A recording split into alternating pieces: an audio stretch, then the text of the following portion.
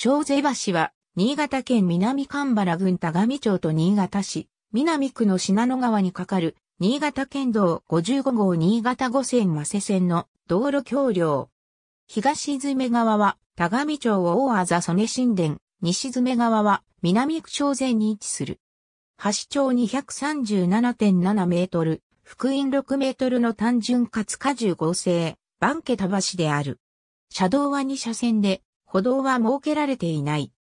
東京領の下流側には、新潟県道41号白根安田線の小須戸橋が、上流側には、新潟県道9号長岡土地尾巻線の五反田橋が架橋されている。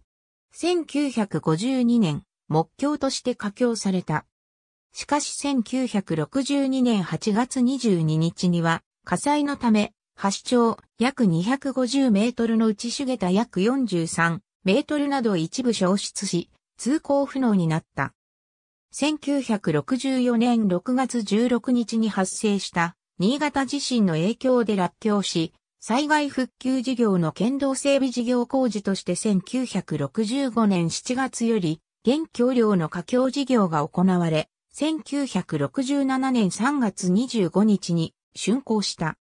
その後、東京領の区間となっていた一般県道月型5線線は、主要地方道新潟5線マセ線に指定変更され、主要地方道の区間に昇格している。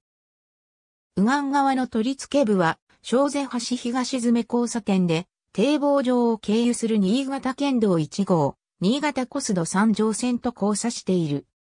また左岸側の取り付け部は、河川敷をクランク状に走破する構造となっているが、品野川の堤防改修事業の進捗に伴って改修され、2007年5月14日から堤防上の交差点部が拡幅された。ありがとうございます。